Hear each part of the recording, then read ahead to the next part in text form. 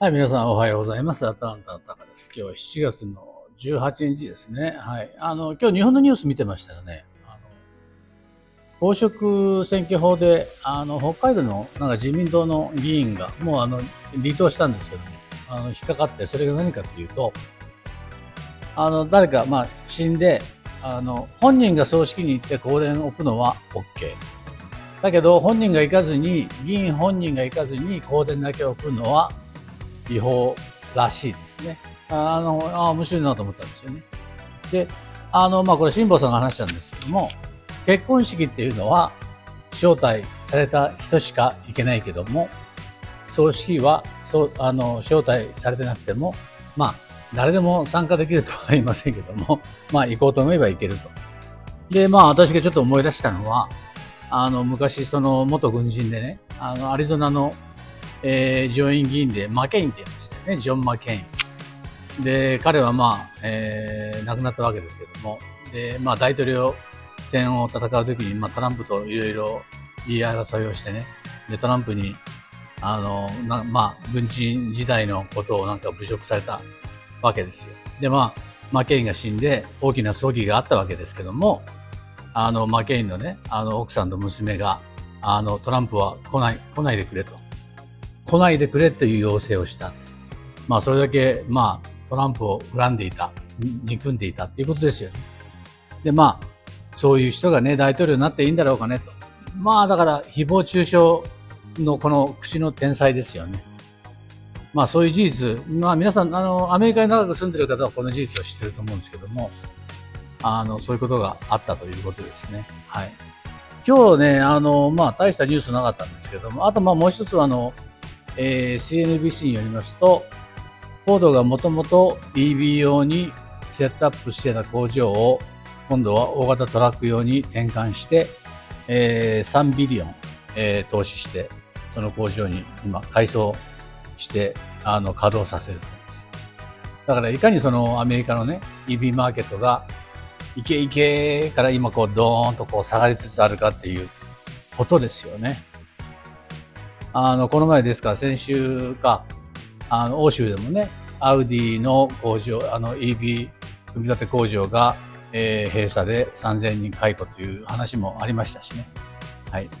えー、今日私は何を話すんでしょうかというと、えー、住宅の話なんですけども、アメリカの住宅、海外の買い手も今ちょっと苦戦してますよっていうことですね。で、まあ、これはね、あの、何かっていうと、要は値段が上がった。これは同じ条件ですね。はい。それから供給不足。いわゆるまあ住宅の数が少ないからなかなかいいのが買えない。これもまあ同じ条件で。で、最後は、あの、今、米ドルが高いんで、要は値段がさらに上がってるわけですよ。で、まあ買えないという、このまあ3つの要因で、海外からの不動産投資がちょっと今落ちてますよ。で、データがありましてね、えー、去年の4月から今年の3月までの丸1年間で海外のバイヤーが購入した既存住宅は54,300戸です。で、これがなんと前年比で36%も落ちるんですね。で、これは、えー、不動産協会が2009年に追跡を開始して以来、えー、の最低水準。で、これ金額ベースでいくと、420億ドルで前年比が21%減です。で、これはね、平均あの、彼らが買う平均の家が78万300ドル。で、中央値が47万5千ドル。あの、例えば中国人なんかは、あの、カリフォルニアの中にどんどん買うわけですよ。だから値段が高いんですよ。だけど、他は今ね、み、あの、皆さんが買ってるのは、あの、フロリダ、テキサス、カリフォルニア、アリゾナ。まあ、この辺のやっぱりみんな高いとこばっかりなんですね。だからまあ、アリゾナとか、あの、テキサス買えばそんなに値段はしない。まあ、50万ドル出せば買えるわけですで、誰が買ってるんですか？どこの国の人が買ってるんですかっていうと、えー、まあ、カナダが一番多いんですね。カナダ、中国、そしてメキシコ、インド。まあ、今から大きくなっていく国ですよね。はい。えー、それでね、彼らはどうやって買うんでしょうか？現金です。はい。最も多くのお金を使ったのは中国人です。で、彼らはほとんどこれキャッシュで買ってるんですよね。で、今はその中国の富裕層がね、あの、やっぱりその習近平の締め付けで、えー、中国からどんどんどんどん、あの、逃げていってる。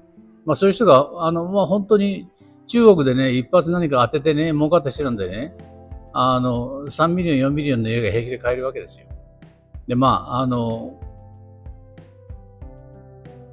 場合によっては中国でそのままいると、その、まあ、財産没収の可能性もある。それから、あの、不当逮捕の可能性もあるわけですよ。まあ、あの、アリババのジャック・マーが一番いい例でね、あの、目立ちすぎると、あの、まあ、出る杭打たれるのが今の中国って感じでね。日本人だってそうで、あんまり変なとこでカメラカシャッと押したらもう捕まるような時代ですから、本当に中国は怖いなと思いますよね。はい。まあ、そんな感じで、えー、っとですね、あとまあ私が言いたいのは何でしょうか。えー、結局その、あの、アメリカでね、普通にその家を買う前に、そのやっぱり海外から来た人はローンがまず組めないですよ。ね、ローン組むには、あの、信用調査があって、信用なんか全くないわけですよね。海外から買うわけですから。だからもう、あの、クレジットスコア、クレジットスコアのデータもないだろうし、では結局その現金で買うしかないんですよね。で、昔ね、私私の知り合い、知り合いじゃないですね。彼はお客さんだったんですけども、あの、フロリダのタンパに住んでて、で、あの、たまにこうやってくるんですよね。で、ジョージア州で家を見つけて、それを、あの、ヨーロッパの確かバイヤーかな？に、あの、売ってましたよね。要はだから、それで、そのヨーロッパのバイヤーはそこにあの住むんじゃなくて、要はだから不動産投資して収益を上げるっていう。あの、最近彼見ないですけど、前はね、あの、3、4ヶ月1回ぐらい来て、で、ここでバーっとあの酒飲んで、お任せで結構いいから使ってくれたんですよね。あの、確か、あの、彼はブラジル系の、えー、人でしたけども、あの、奥さんも一緒にやってました。だから、やっぱりそういうのが儲かるんでしょうね。だけど最近、まあ、うちに来ないっていうことは、おそらく、あの、家の値段がもう上がりすぎてね。で、上がりすぎた、プラスさっきあの言った通りで、その、えー、ドル高で、あの、あんまりその、海外投資するのが美味しくないということで、今手を引いてるんでしょうね。海外のバイヤーっていうのはね。ただまあこれから値段が下がってくると、やっぱり中国人とかね、インド人とかね、アジア系のバイヤーはやっぱり買うんじゃないですかね。やっぱり彼らにとってはアメリカは一番の国ですよ。自分の国よりも絶対アメリカの方がいいはずなんですよね。私はだからそう思いますよね。だから、あのアメリカの不動産状況はちょっとしばらくダメかもしれないけど、まあまた上がってくるでしょう。と私は思います。はい、以上です。